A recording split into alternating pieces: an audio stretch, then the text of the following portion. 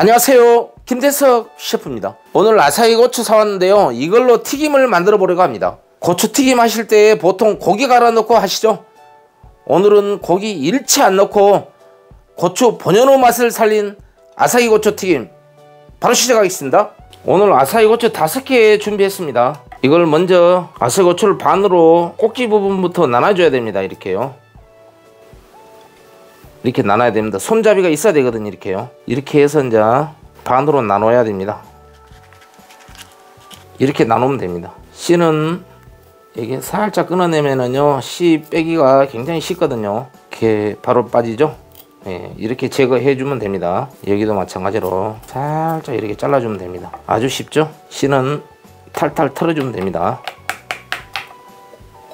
고추를 통째로 튀기는 것보다도 이렇게 고추를 반으로 나눠서 씨를 빼고 해주세요. 여기 고추씨는 반드시 이렇게 깔끔하게 제거를 하고 해주세요. 고추를 튀길 때 고추씨가 들어가면 검게 되거든요. 먼저 반죽부터 해보겠습니다. 튀김가루 수북하게 3스푼 사용합니다.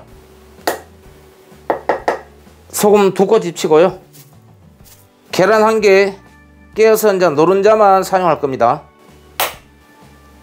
얼음물 준비했는데요. 얼음물은 적당량 부으면서 농도를 봐가면서 하십시오. 처음에 두개 세개 네. 얼음물 다섯 스푼 먼저 붓고 반죽을 해 보겠습니다. 물을 한 스푼 더 추가하겠습니다. 계속 부어가면서 농도 조절을 잘 해주세요. 얼음물을 넣어서 반죽을 해서 튀기게 되면은 튀김이 더 바삭바삭해지거든요. 이렇게 완전히 잘 풀어지게 하세요. 잠시 두고요 오늘의 포인트는 이 식용유입니다. 이 식용유를 고추에다가 살짝 코팅해 갖고 밀가루 코팅을 또 할 겁니다. 잘 보십시오. 붓에다가 식용유를 묻혀서요. 겉에만 이렇게 살짝 식용유를 바릅니다. 안에는 안 발라도 됩니다. 살짝 두 번만 발라주면 됩니다. 밀가루 두 스푼 사용합니다. 수북하게 두 스푼입니다. 이렇게 하고 이제 밀가루를 코팅할 겁니다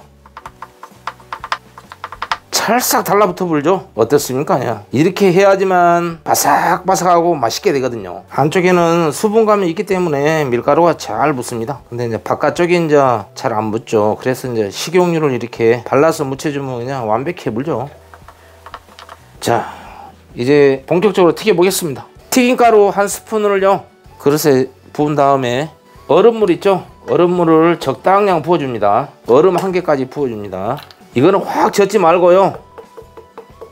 그냥 젓가락으로 이렇게 꾹꾹 눌러줍니다. 이거 하는 이유는요 눈꽃을 만들기 위해서 하는 겁니다. 박력분으로 해도 좋은데 가정에 박력분이 없잖아요 그냥 튀김가루, 밀가루 해도 상관없습니다. 왜냐면 휙 접으면 글루텐이 형성돼 갖고 뭉쳐 갖고 안 좋거든요. 이렇게 꾹꾹 이렇게 해야지 글루텐이 형성이 덜 되거든요. 나중에 기름에다가 부으면 눈꽃이 만들어져서 참 좋거든요. 먹음직스럽게 보입니다. 절대 휘젓지 마세요. 이거 조금 이따가 사용하겠습니다. 어느 정도 가열됐으면 온도 체크를 한번 해야 됩니다.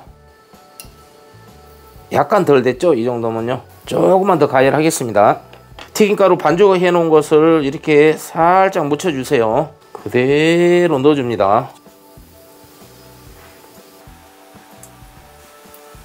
이럴 때 아까 얼음물 해놓은 거요. 튀김가루 풀어놓은 것을 살짝 뿌려줍니다. 이렇게 해야지 이제 싹 달라붙어 갖고 엄청나게 바삭바삭해집니다. 맛있게 튀겨지죠? 잘 튀겨졌네요. 위에 것은 다시 이제 채로 다 건져줘야 됩니다. 그래야지 깔끔하거든요.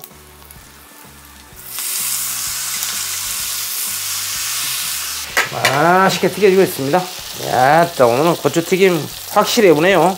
이렇게 찬바람을 좀센 다음에 다시 튀기면은 더 바삭바삭해집니다. 이렇게 찬바람 맞히고 예, 다시 넣으면 더 바삭바삭하게 튀겨지거든요. 드디어 고추 본연의 맛을 그대로 살린 아사히 고추 튀김이 완성되었습니다. 이렇게 만들어 드시면 간식으로 밥 반찬으로도 최고 아닙니까? 주부님들 아사히 고추가 보이면 얼른 사갖고 만들어 보십시오. 현관문 열자마자 가족들이 꽃신내가 나가갖고 식탁 앞으로 달려와 볼 겁니다. 그리고 고추 튀김 찍어 먹을 소스는요 간장 두 스푼 물 반 스푼 식초 반 스푼 설탕 4분의 1 스푼. 이렇게 해서 찍어 드시면 오늘은 바로 이거다 하실 겁니다. 아사히 고추 튀김 맛있게 만들어 드시고 오늘도 활기찬 하루 보내시기를 바라겠습니다. 지금까지 김대석 셰프였습니다